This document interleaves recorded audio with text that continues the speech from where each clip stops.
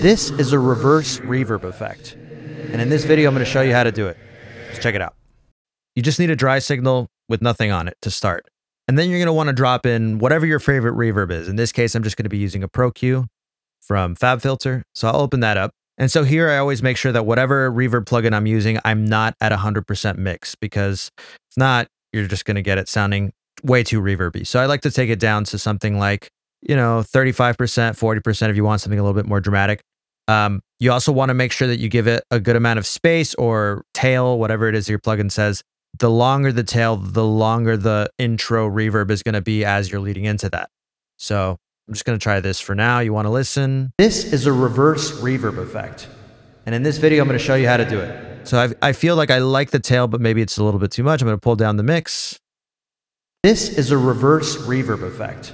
And in this video, I'm going to show you how to do it. All right. Once we get that, we're just going to make sure that we have our recorded thing that we want to flip.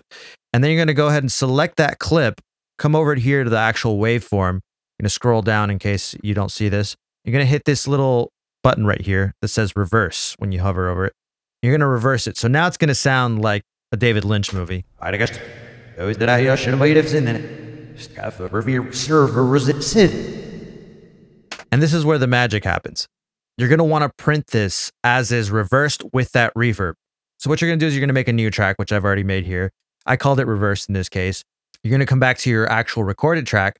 And here where it says master, you want to click that and send it to the reverse tracks input.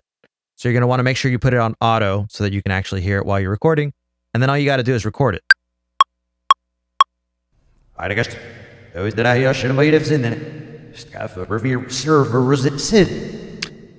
Let the tail go out so that it's completely dead. You can hit spacebar.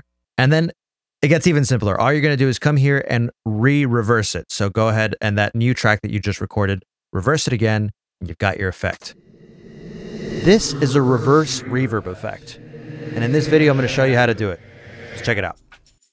And that's it. It's really pretty simple. Um, you can play around with different sort of settings and stuff to get a really cool reverb that you might like.